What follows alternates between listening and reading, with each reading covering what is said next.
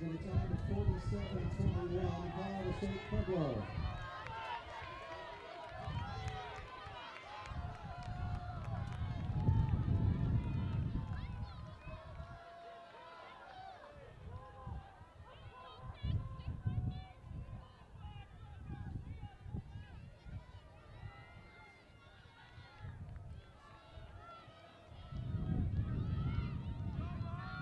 Second place with a time of 46.97, New Mexico Highland.